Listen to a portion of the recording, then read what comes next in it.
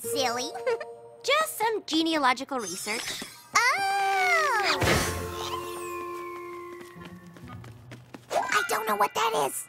Genealogy is a study of family history. You know, where ponies come from and who they're related to. Ooh, fascinating. Maybe you should pick one from the top. Uh-huh. Interesting. I see. That makes sense.